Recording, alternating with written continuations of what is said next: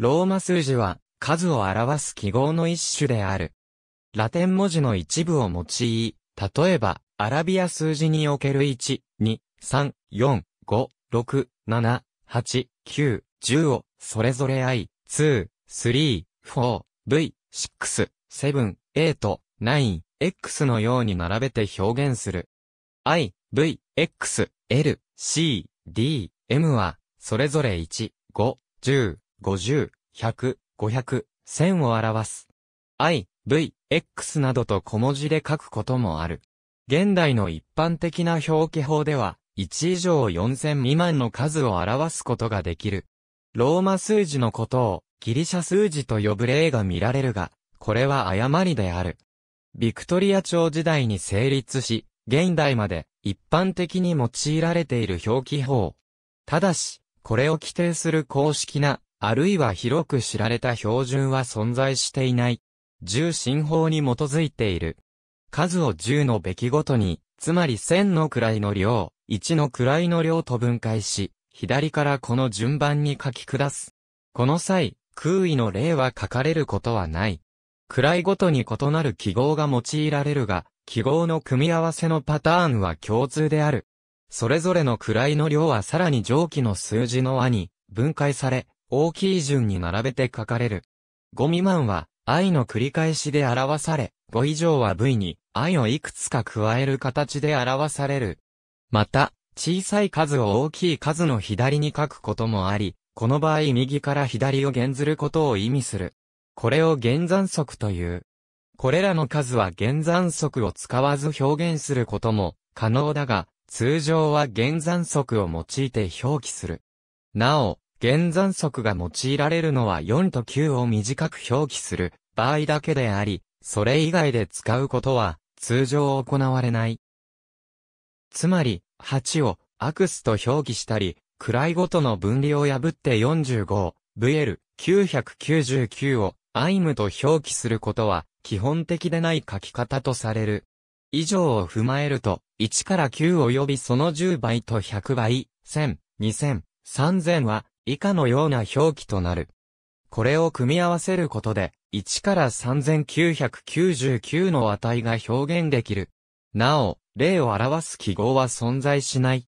また、4000以上の数値を表すことは不可能である。さらに、整数と小数が一貫しておらず、整数が10進法である一方、小数には12進法が適用され、1、12や1、144の小数が作られている。小数は、3、12が、点3つ、6、12が、S、9、12が、S に点3つとして、6で一旦繰り上がる方法で、表記されている。なお、手書きでは、大文字のローマ数字は上下のセリフをつなげて書くことが多い。V は上部のセリフをつなぎ、逆三角形のようになる。小文字ではセリフを書かない。時計の文字盤は、伝統的に4字を E とし、9時は通常表記の9で示すものが多い。その由来には、下記のように様々な説が唱えられているが定説はない。古代ローマのセミスコイン。1、2を表す S の文字が刻印されている。ローマ数字は、もともと厳密な規則が定義されたものではなく、特に減算則に関しては、様々な異表記が見られる。当初は減算則が存在しなかったため、4を EE、9を B と書いていた。The form of Cree は4イコール EE、9イコール9と表記している一方で、4と表記した箇所もある。他に、80イコール R、2000イコール Z とする異表記もある。また、12イコール S、112イコールなどとする分数の記号もあった。現代ではあまり使用されないが、4000以上を表記ができる。1000を表すのに、M ではなく、または C を用いる場合もある。5000を、または I、1万を、または CC で表した例もある。同様にして5万は、または I、10万は、または、区記載となる。東京競馬場のターフビジョン現在、ローマ数字は、助数、章やページ番号、文章の客中番号などに使うことが多いが、参加度など一部例外がある。古代ローマ人はもともと農耕民族だった。羊の数を数えるのに、木の棒に刻み目を入れた。柵から一匹ずつヤギが出ていくたびに刻み目を一つずつ増やしていった。三匹目のヤギが出ていくと、スリーと表し、四匹目のヤギが出ていくと三本の刻み目の横にもう一本刻み目を増やして、いいいいとした。五匹目のヤギが出ていくと、四本目の刻み目の右に、この時だけ、V と刻んだ。この時の棒についた刻み目は、フィブとなる。六匹目のヤギが出ていくと、刻み目の模様は、フィビー。七匹目が出ていくと、ファイアバイとなる。九匹目の次のヤギが出ていくと、ファイビューイの右に、X という印を刻んだ。棒の模様は、ファイアバイビックスとなる。31匹のヤギは、ファイアバイビックッシュファイバイビックッシュファイバイビクシーと表す。このように刻んだのは、夕方に、ヤギが一匹ずつ戻ってきた時に、記号の一つ一つがヤギ一匹ずつに対応していた方が便利だったためである。ヤギが戻ると、記号を指で端から一個一個辿っていった。最後のヤギが戻る時に、指先が最後の記号に触れていれば、ヤギは全部無事に戻ったことになる。50匹目のヤギは N、またはで表した。100匹目はで表した。これらの記号は、ローマのそばのエトルリア人も使った。エトルリアの方が文明が栄えていたので、そちらからローマに伝わった可能性もある。線は、丸の中に10を入れた記号で表した。よく言われる、X は、V を2つ重ねて書いたもの、あるいは、V は、X の上半分という説は、誤りとは言い切れないが確たる根拠もないようである。やがて時代が下り、羊以外のものも数えるようになると、31は、単に、31と書くようになった。5は、しばらく、V と、が混在して使われた。50は当初 N、K、プサイ、などと書き、しばらく、か、それに似た模様を使ったが、アルファベットが伝わると混同して、L となった。100はだけでなく、H などと書いたが、が次第に離れて、や、になり、よく使う数なので簡略になり、C や、と書きそのまま残った。500は、最初、線を表す、から、左のを外し、と書いた。やがて二つの記号がくっつき、D となった。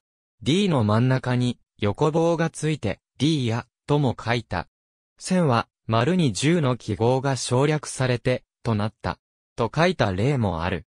これが全部くっついたのが、ファイに似た記号である。これが別の変形をし上だけがくっついて、M に似た形になり、アルファベットが伝わると自然と、M と書かれるようにもなった。そのため、線は今でも2つの表記法が混在している。5000以上の数は100と1000の字体の差から自然に決まった。ただし、今日、上下逆に書いた形で100万を表したこともある。古代ローマ共和国時代のソロ版では、記号の上に横棒を引いて1000倍を表したものもある。この方法では、1万は、X の上に横棒を1本引いたもので表される。10万や100万は、C や M の上に横棒を1本を引いて表した。例えば1万は、X となる。例、CCX イコール21万数字の上部分に、左右に、を、それぞれつけて10万倍を表すこともあった。例えば10を10万倍した数イコール100万は、X と表記する。例、その後、他の文明との接触により変わった表記法が現れた。一世紀、プリニウスは、著書、博物誌で8万3000を、ルキサイ M と表記した。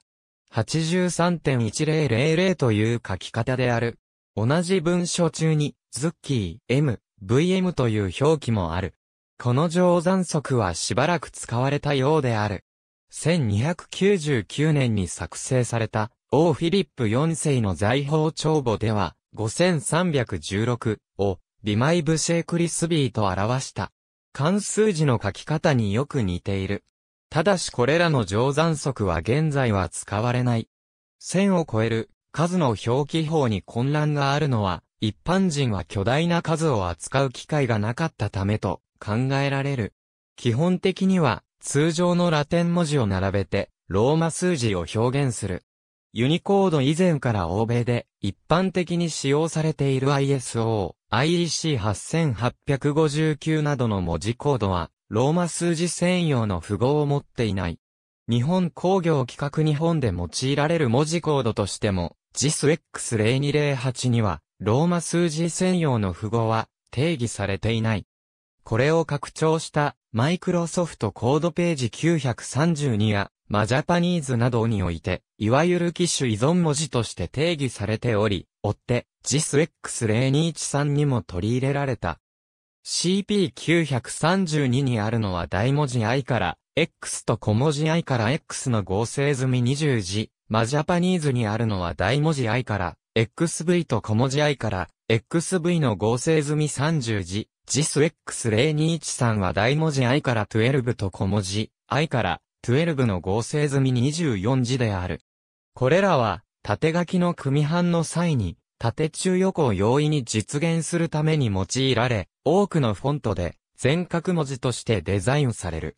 ユニコードユニコードは、JISX023 などとの互換性のために、上述の合成済みローマ数字を収録した上、その延長として、また通常のラテン文字にない、も定義している。